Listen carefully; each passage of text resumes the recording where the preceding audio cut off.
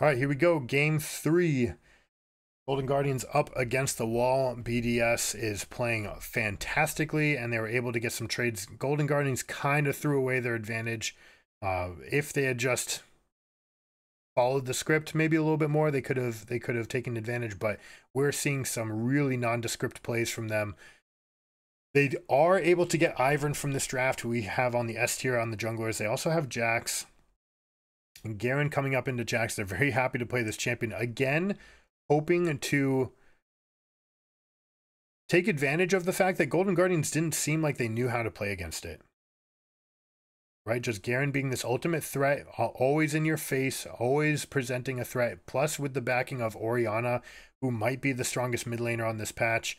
Uh, we have Orianna and Taliyah uh, right up there, with um, Syndra and Azir slightly behind. But with Orianna shields, Rakan shields, the fact that you have Sejuani to help be a dive brother means that you have plenty of advantages that you can take. Now, it looks like Licorice is opting to take the Renekton approach, right? We're going to play Jax with Grasp and try to win this lane with Grasp procs.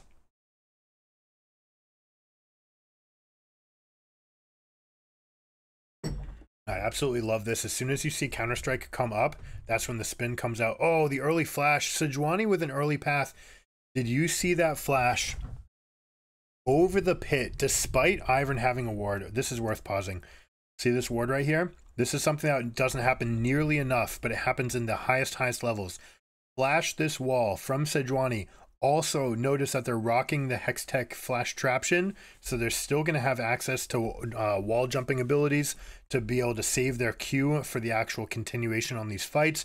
Very important against champions like Azir and against Xayah. Uh, is able to jump the wall, steal red, gank top, unbeknownst, despite the early ward. They think that they know that Sejuani's not there. Sejuani's able to take that, and they they basically win this game at level one. So, so nice. Now, this is the sort of thing that when you're talking about what is an analyst's position, what should an analyst be doing, and an advanced scout, advanced scout is the person on your team that is responsible for checking out your next opponent and seeing what they do. All right. Um, so, for example, um, er- Ernie is a favorite one, is a famous one for the Patriots. He was able to go out and say, "Here's a play that the Seahawks have run uh, with high amounts of success. They could run this play. It might show up at a clutch moment. Uh, and so you should put some practice reps in it. And so the Patriots famously put 20 reps in against the pick. I don't, I don't want to play it. The, the pick and shallow cross route that got run against them on the final play of the Super Bowl, and Malcolm Butler intercepted it. And he didn't even get a rep, but just the fact that his team, or he did get reps, he didn't succeed at them ever, but they were able to see it, coach it, talk about it, and when it came up in the game, Brandon Browner was like, I know what's coming. Swap with me. I'm going to front this guy and allow it to happen. You can exploit plays if you know they're coming. So when we talk about what are teams' tendencies, where do they ward? What time do they ward? At what time do those wards go down? Those are things that are exploitable in these games. Now, very importantly, you got the early stacks off, passing the kill off, also very important. Uh, if you know that enemy team never wards this position, or if you had one ward out early, which they accomplished early, I want to talk about this again for a second. It's actually worth coming back for 1223. See these two wards right here? I want to go back to the moment that they got this blue ward down. Super, super early, basically a rush into the game. Orianna comes to mid. Ezreal and Rakan, Rakan is taking the most defensive ward possible, saying we want to see any sort of late invades that come over here. Ezreal's going to check out this area to just see if, if any anything except for this path is now covered, all right, for red team. And in the meantime, Orianna's checking out mid, so you see anyone coming in through these avenues. Garen's can step up to make sure that nothing's happening behind them. So really, they've got three people, maybe even four, that could come to this fight for the Sejuani. Sejuani's going to come lay out this deep ward, get it out early at 50 seconds, basically about the earliest you can get it out. This does a couple things. It'll see this path here. It'll see most of Ivern's paths. Now you can beat this ward by going behind, for example. But when you see this ward or when you get this ward down, you get a little bit more information. Now check out what happens with the rest of the team. They see the Jax. Now they see the Ivern. Now they see the Ivern ward or no? This sees to about right here. So right now, Ivern's just toggling in and out of vision. I wish that they would put this on. I, hmm, this is very, very close. I can't tell with my naked eye whether or not this ward sees this ward, but regardless of that, you saw Jax's path through. You saw Ivern going back to his bush, and he never went towards this area. They saw him constantly, and they see him path here. So now the limits are who could have possibly warded on their entire team? Only Jax. Jax is the only person who could have warded. And important that it's Jax because Jax never wards. Jax never wards because they need their ward for their ward hop.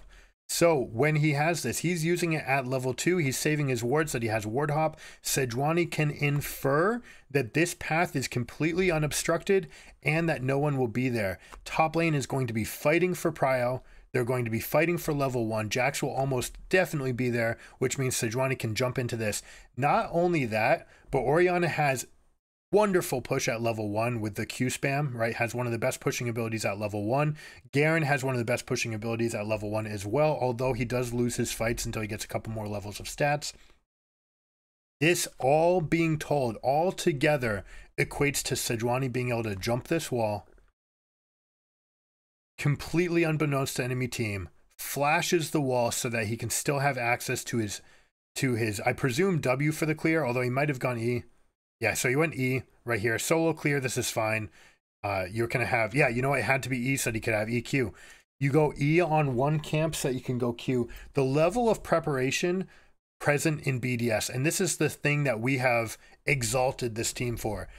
They come in with the most unique strategies and preparations, and the casters were talking about this in the sense of we know they're going to cheese. They're the cheesy team, so we can like not get cheesed. That's not how it works. If, unless you can define exactly what the cheese is and exploit it with an answer, then you are falling victim to optimal game theory or game theory optimal as as uh, poker pundits would have it. When you are using advanced game theory, you are using this advantage to the maximum. You are becoming unpredictable with some split that usually looks like 60%, 30%, 10%. 60% being my best strategy, 30% being something the, that answers the answer to my best strategy, and 10% being something out of left field that is so unpredictable, like this, that we can say, all right, we know what our 60 is, what our 30 is, what our 10 is, we know what their likely answers are. In this case, we saw exactly what the Ivern did. Yep, boom, we can make this play. I'm flashing this wall. This was clearly prepared for because he's got Hextech Flashtraption. Uh, this entire play is scripted out. It is a way to just take an astronomical lead to start this game and crush the team morale, right? Like, like apart from just the numbers, think of what it does when you think that you've prepared this whole strategy. Okay, I'm going to path bottom to top. I've warded here. Sejuani's not invading me.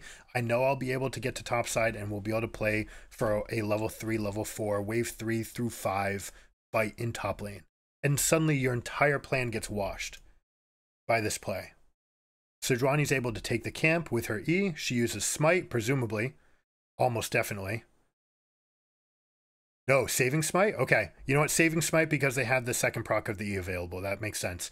Now still has Smite for an available fight. Going to sit right here at the edge of vision. I don't think... No, they are seen right here.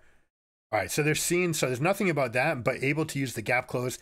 I imagine this also means that we have Blue Tree second, uh, probably for Nimbus Cloak to get that movement speed. I'm not positive without seeing the runes this game. Jumps in, gets the auto, gets the E, red buff, slows down, waits for the jump, boom, hits it. I could go for days on just that segment alone. Like we could do an entire video on just that one play. Fantastic. Absolutely fantastic BDS. Love it. Now Sejuani with Smite available is able to accelerate their second uh I'm not even gonna call it their second path. Ooh, neat mechanic from Ivern. Wait, I did not know about this.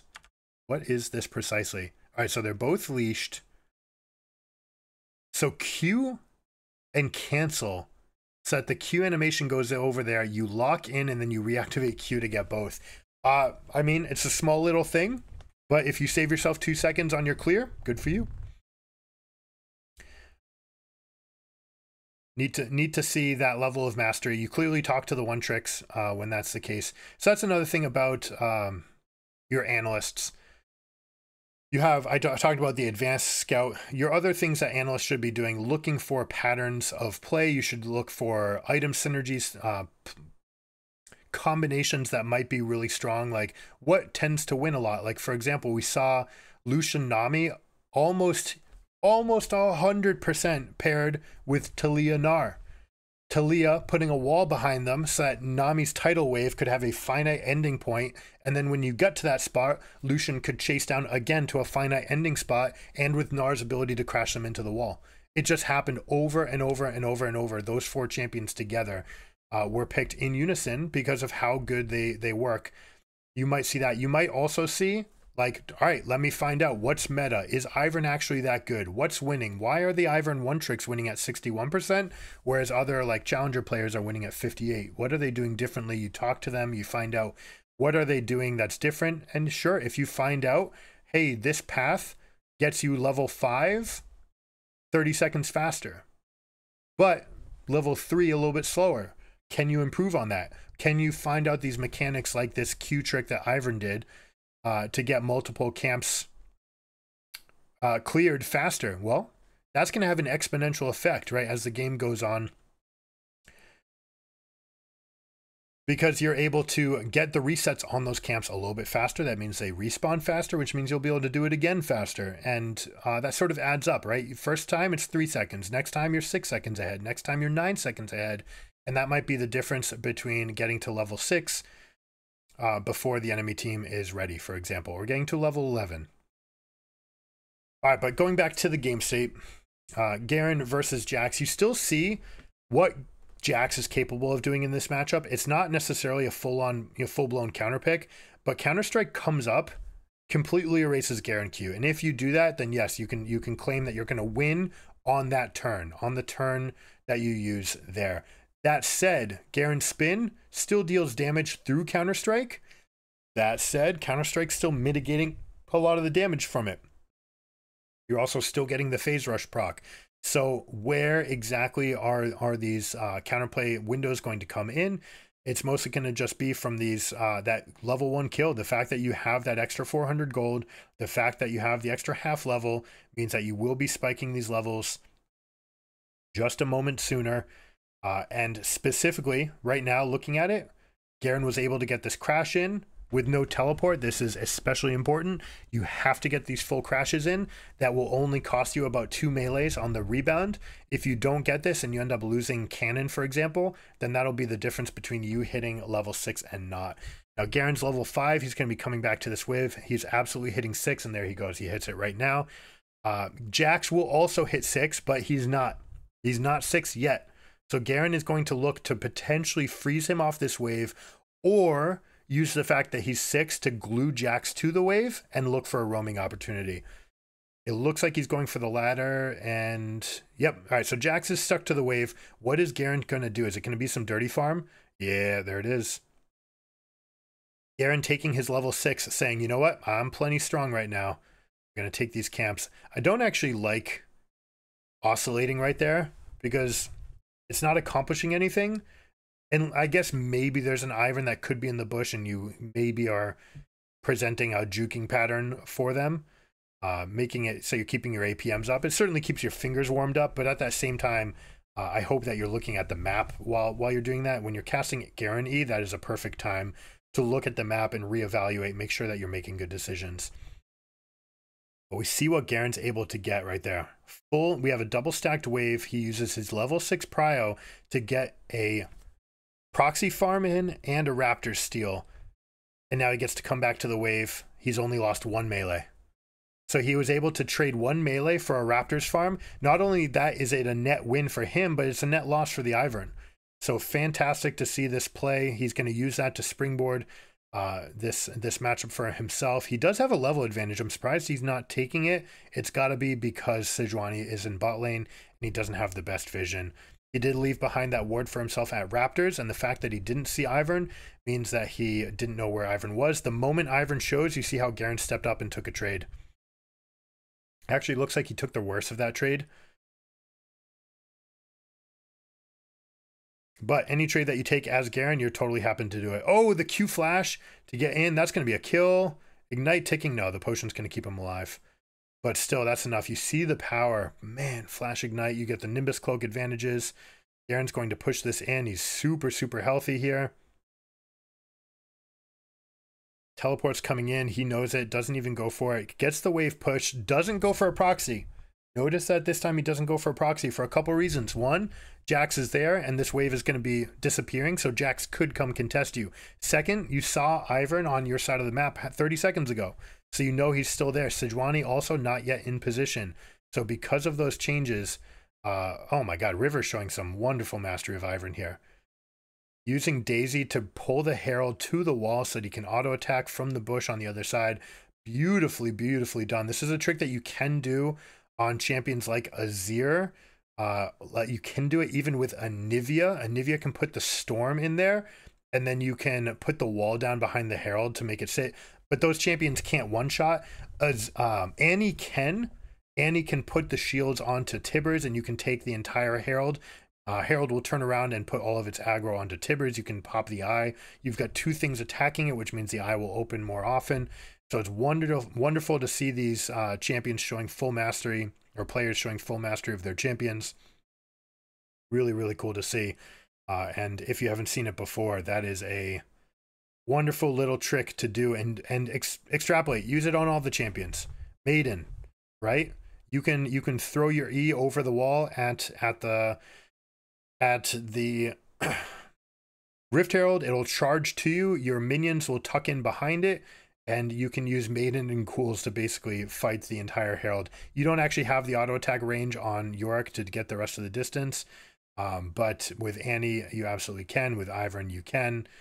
Uh, and I believe you can even do it with Heimerdinger, but the I'm not sure that the Eversense changes whether or not the turrets survive. You may just have to stack them up. Jax escaping for the moment, but the very end of the queue, good moves, but it's not going to be enough. Garen is just going to take over this matchup now. This is going to be a completed Stridebreaker as soon as he gets his fill of plates. They also...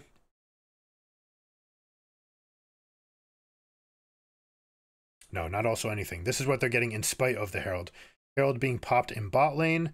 Uh, this is interesting that they're using it only to get four plates. They're not going for the last ones. Uh, this is potentially a mistake. You could have pushed much harder here. You were stronger. There is no Garen teleport. You know that Sejuani was topside and just use multiple abilities. I don't like that they didn't go for more there. They could have gone for this fifth plate, gone for first brick. Instead, Garen's going to recall. And actually, it looks like I got the, the math off slightly. Because it completed Berserker Greaves, uh, Garen was unable. Even if they had gotten one more plate for themselves, they would not have been able to get not even the Kindle gem. So we expect that he's sitting about 700 gold shy of Stridebreaker now. Which he will get once he finishes, whether or not he finishes the plates, but once he gets that turret, he'll be sitting back, or if we just get a couple more rounds of farm, three more waves. Plus a plate should do it. Oh, big ultimate. Proactive plays. Absolutely love it. See a flash trying to get a turn back, but Sheo, uh, with the Sejuani passive and with Aftershock, able to soak up all the turret damage. Very important that you take the turret aggro there as Sejuani. BDS getting stuff done. I absolutely love it. Now we're getting up to this 12 minute point where we're going to have Stridebreaker completed. We're going to have Trinity Force. Orianna is probably going to be recalling, maybe with the full Liandry's right now, with 111 farm at 11 minutes and with the uh, no plates, might just be enough. No, it's not.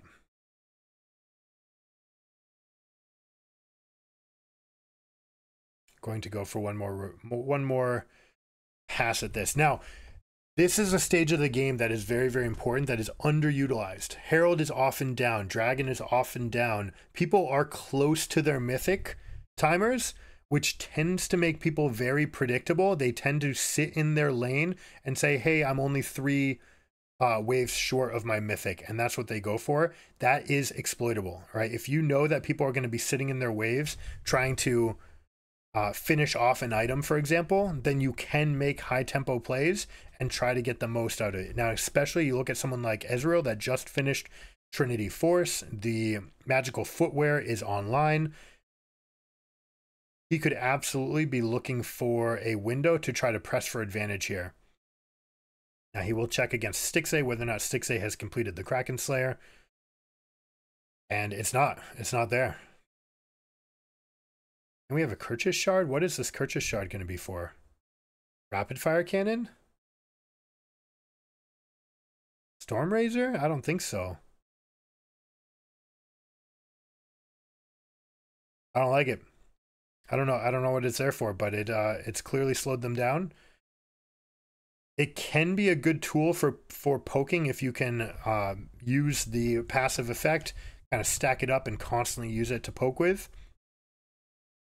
But uh, I don't see that. I don't see that happening. Orianna's about to recall with Liandry's. Garen is got his Stridebreaker. We see the Bami's start, and this is what we were talking about with Sejuani, uh, or early on the game, last game.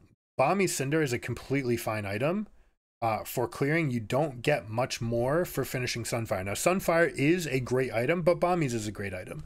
And they just are great at what they do. And if you need a little bit of help with clear, it is totally fine to just grab that Bami Cinder and then build into something else. And it looks like that's exactly what Sejuani's doing. I don't know if we're going to see like an early Warmogs or something like Anathemas. I don't expect to see Anathema. Now look at what Garen's doing. Oh my goodness, I love it. Gods. Aptly using the God God King narrative here based on the song. Absolute banger of a song, by the way.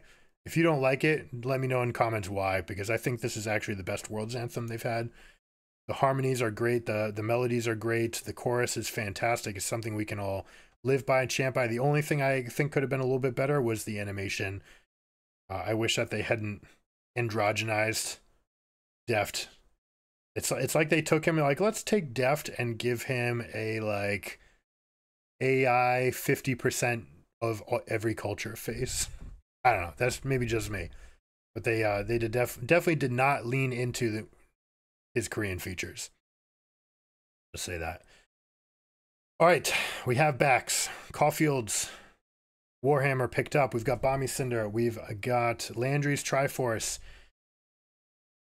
What are we going to see? We've got 1.3k gold lead. We've got the dragon spawning in three minutes. Now, Garen's going to go to the bot side of the map. This is because this wave has already been broken. Orianna's going to have a shorter lane right here where she can just go out to that wave. Oh my god, we just have one shot. Again, every time Flash is up for Garen, there is the potential for a kill. This is just the way he works. This is ever since the changes to Nimbus Cloak.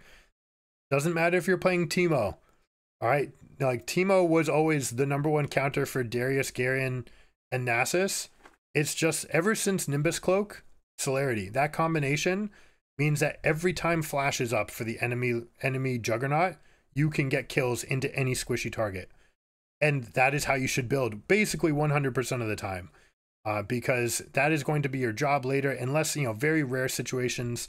We've seen Darius picked into quadruple dive comp and saying, okay, like you want to dive into us? Sweet, we've got a Darius, and and then we can just play for I'm big, and that is what it is, right? Most times you're just going to want that speed boost. You're just going to want to prey on the enemy AD carry. You just want to you just want to use or or mage, whatever it is. You just want to use that cooldown as best you can that an ultimate? All right, it was ultimate being dodged by Xayah. All right, the Shockwave I do believe has a 20 second shorter cooldown. We'll see. We'll we'll compare those as they come up. See if there's a window where we can get a second Shockwave. That's absolutely something we'll play with at the highest highest levels. Right. So we have mechanical mastery, and at this point, everyone has that. Then we have like champion mastery, all of the ins and outs of every champion, and we expect the pros to have that. We have macro mastery, which I don't think they've gotten. Tempo mastery, we know that they haven't gotten, although some teams have gotten pretty good at their checkmates, uh, especially the end games are there. There's still some room to to be had. But at the highest, highest level, the extra advantage you have is being able to track cooldowns, knowing exactly where and when your champion is going to be stronger than theirs. For example, right here, they're like, okay, I know that we find this engage, we can take this fight, but now Xayah is going to be flashless, cleanseless, and ultless. So she is a sitting duck. How many people can take advantage of that, and for how long can you do it? Garen is going to be the number one oppressor of Xayah right now. If, Garen ever shows up near a Xayah, you can you can expect Xayah to just die.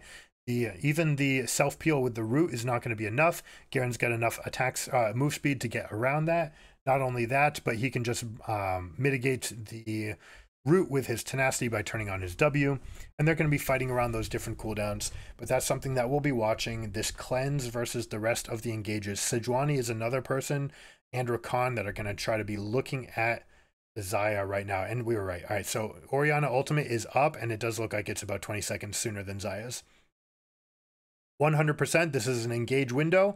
Xayah with no ultimate, no cleanse, no flash means no contest on this dragon. If they contest, it's kind of inty.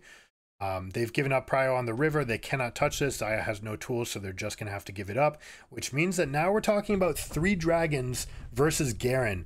Now, one of the things that Garen can utilize most is a sole advantage. All right. When your team, when you can force enemy team to come to you, you can mitigate some of Garen's weaknesses, right? He always gets kited, right? That's that's the rub. Can't play Garen because he gets kited. Well, if you can force the enemy team to come to you, then suddenly Garen not you know getting kited doesn't matter as much because they're going to come to you. You can just put yourself between the place that they're trying to get to uh, and and them, right? So there is still going to be range issues. Xayah and Azir have plenty of range to harass Garen, but even the auto range for Xayah, one auto attack is enough for Garen to, to Q flash. And there is no answer. And you are locked in that auto animation. If you are fast enough, take a moment to appreciate that fight. If you're fast enough, you see an auto animation, Q flash Garen, boom, done. Xayah's dead.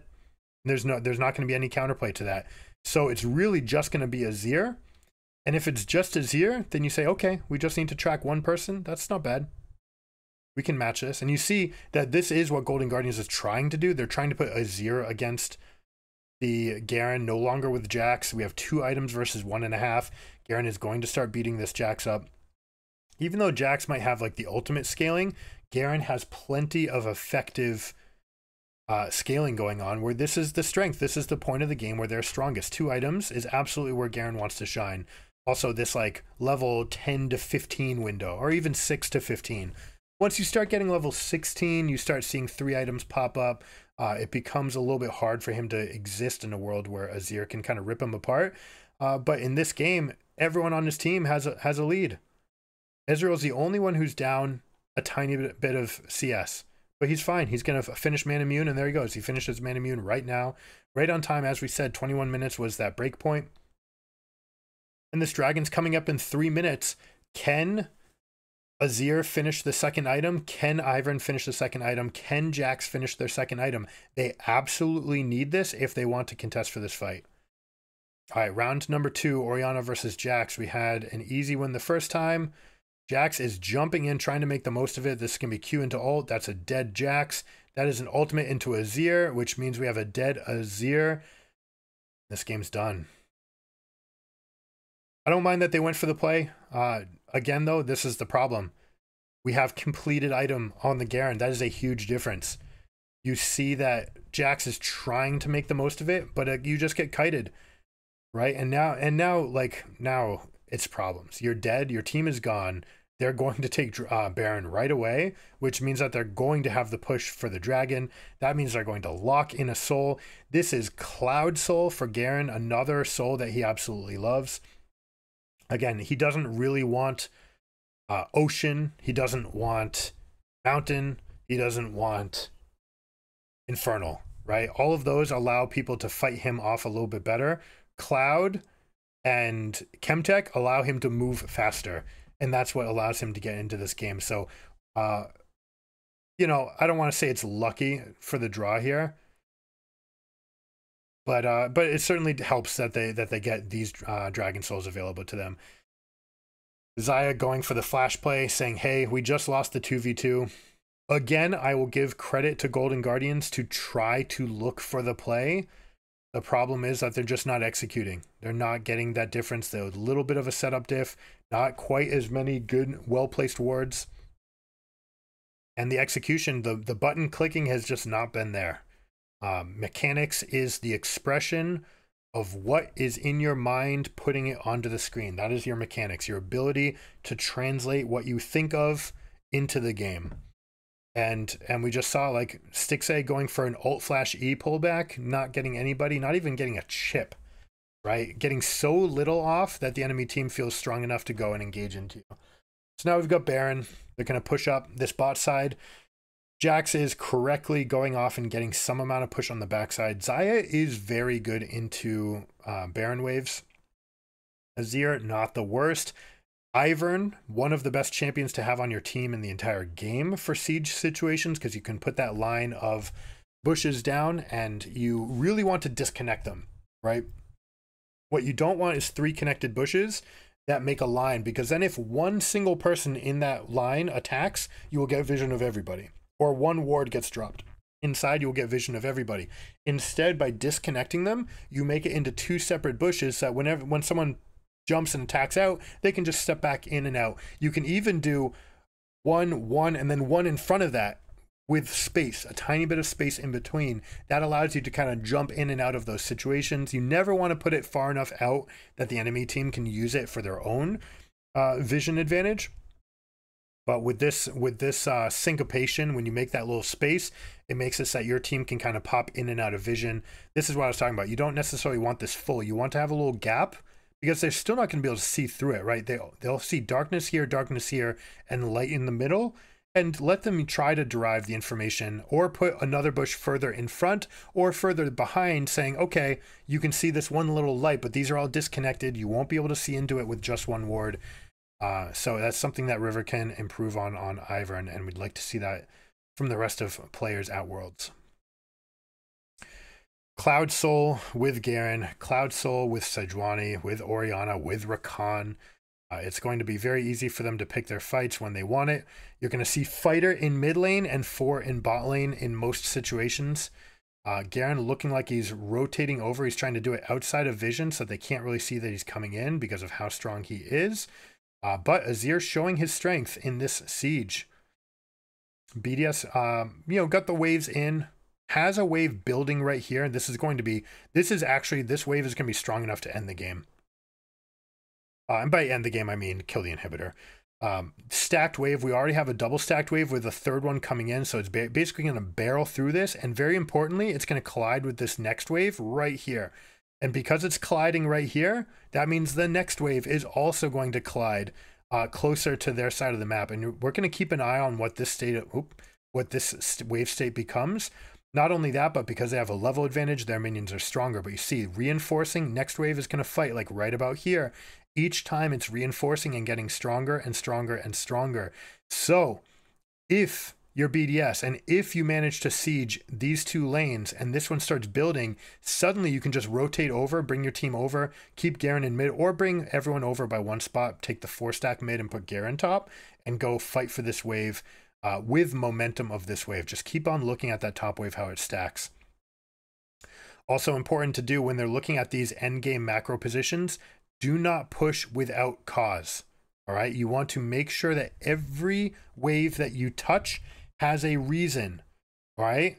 Garen's fast pushing this. Why? What is he going to do with this? What is he going to do? He's going to move into the other quadrant. He's going to try to secure some vision for himself. He knows that Jax is already collecting this wave and there's nothing for him to do. He could have maybe just sat on that wave, waited for a little bit, but by doing it this way, he gets a little bit more vision. He gets now to play up. He's going to try to do it again. This is Cloud Soul Garen, everybody. So even though you've got four people trying to make a play here, there's not that much to be done. He sees now that the entire enemy team is here, but there's nothing to be done. Leona, Jax, Ivern, Azir, even Xayah showing on this side of the map. And now here's what we see. Ready what we talked about? Rotating people over to this wave. Look at the size of this wave. This is a triple stacked wave plus another wave coming in behind. Ezreal's already shoving them into mid. He's going to use his ultimate to keep this shoved, making sure to Q spam. Look at how many cannons are here. Is this three? No, they have only two cannons. Oh, I don't like this. I don't like this at all. They're backing away. All right. If you're backing away, it's for one reason and one reason only. It's to go shop and to consolidate your wallet. Uh, I don't like moving back right here. Azir, yes, he's going to have a good time clearing, but what have you actually accomplished? I wish that they had gotten significantly more. Beautifully done. Flash cleanse. Wow, cleanse for the silence. Flash to get away from from the Garen, and ultimate to create more space in self PL. Maybe he didn't need to use all of those tools, but probably assumes that he needs to uh, to not get ignited, get the rest of the way ridden in. Team's going to have inside track on Baron. They can forego bot wave, right? Bot wave is not a threat to them. In fact, it's just stacking up normally. Uh, GG is not even going to fight for this. They're down 6k gold. They're going to pick up gold wherever they can. Now, Xayah's on three items. That is worth noting. Also worth noting that Azir's on only two. Uh, Azir is supposed to be your number one way of fighting through this, uh, fighting through the siege, and then Jax is supposed to be your split pusher. Yes, you have enough damage on the Xayah, but because Ivern went for this fully support build, the Moonstone Renewer into Redemption, uh, which is largely based around the engaged team fight, saying, hey, the moment that the moment that Rakan ultimates, I'm just going to drop Redemption and be here for the fight, kind of be a shield bot, keep everybody alive. Uh, that doesn't really help Jax come back from this two items to three and a half uh, disadvantage that he's got going on. So Garen's going to keep on looking to press this. E into silence, multiple damage sources, and a level 16 ultimate kills the Jax. Yikes. Now, Jax going for the max cooldown build, trying to ride Counter Strike. Um, when you get silenced to start a fight and you don't get that first Counter Strike, it means that you won't get the second one. So even though you're going for the ability haste, you're not going to have access to that second Counter Strike. I maybe would have preferred to see Seeker's Arm Guard here just because you're matching up against Jax or against Garen. You're not matching up against the other people, right? You don't necessarily need the other cooldowns. The getting stopwatch and Fiendish Codex, yes, that's normally correct, but specifically it's Garen getting getting into one shot range, and we just saw it happen. means that he can just walk up in your face, and he's absolutely taking this game to them. Uh, and we see Moonstone Renewer is nothing when you're behind. You have to be ahead to go for defensive itemization like that. Um, BDS just taking it to him and slaughtering. Well played, BDS. That's what I will say. They played great. Adam's out of his mind. It's going to be very interesting to see how the world reacts to him if he even makes it in, right? We still have a play in stage, and BDS basically just earned their right to get into the play in. But frankly, playing at this level, uh, Nuke playing well, some outplays, maybe Crownie could be potentially a, a spot that can be uh, attacked by these elite laners in bot lane, but I don't know if those exist in play in stage as much. BDS is looking like they're going to be very strong, and if they can continue this and they can mitigate uh, any sort of weakness from the bot side and just allow Nuke and and Adam to play cracked out of their minds, like let's be real, they just carried these games. Um, there's going to be better laners than Gori. Licorice was was a great hope for America, though, right? That is that is one probably the best talent that has ever come out of our region. Um, maybe Doublelift, but Licorice is a much better team player. Doublelift needs all the resources to be about him always. Maybe Doublelift is a little bit better, but uh, Licorice certainly from the top lane, best talent that's ever come out, and Adam just stomped him.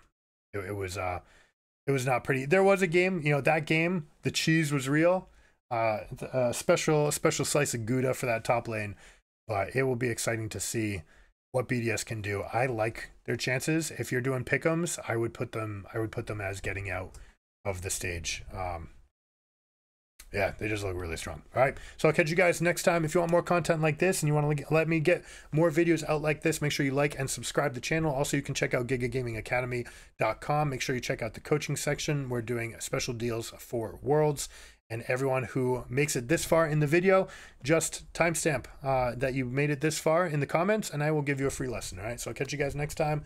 Keep it surreal. Peace.